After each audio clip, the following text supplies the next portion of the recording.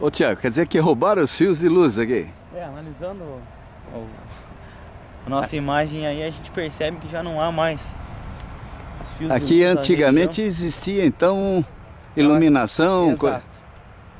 E agora já não. e não foi reposto, o policiamento também não se mexe, né? Não. Não tem mais fio de luz, não.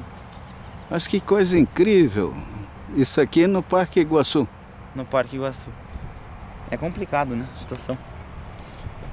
Quer dizer, compete ao prefeito conhecer um pouco mais a cidade, né? Exatamente.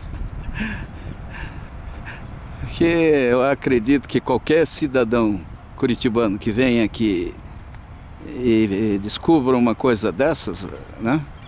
Não vai ficar feliz, né? Porque o parque em si. E tem outra, né? O próprio parque.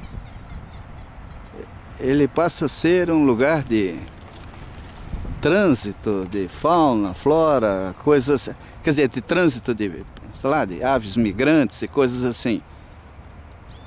Exato. Ah, e as pessoas. né? Agora, se ele vai se desmanchando, né? rouba isso, joga lixo ali. Não, por exemplo, você vê isso aqui, esses tanques. Eu trabalhei na Copel. A Copel tem tanque, tem criadouros de peixes, né? Às vezes um, um sei lá, com, um acordo com uma estação, com uma universidade, aí pode haver o, a- o repovoamento desses lagos, né?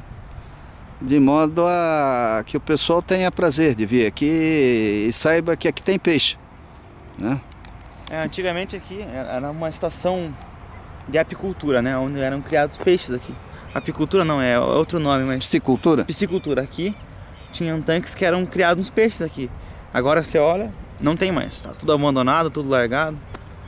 Tá, tá complicada a situação mesmo. Hoje É. não, não tem mais. É isso, Tiago. Meu pai tá vindo. ali. Oi? Meu pai tá chegando também.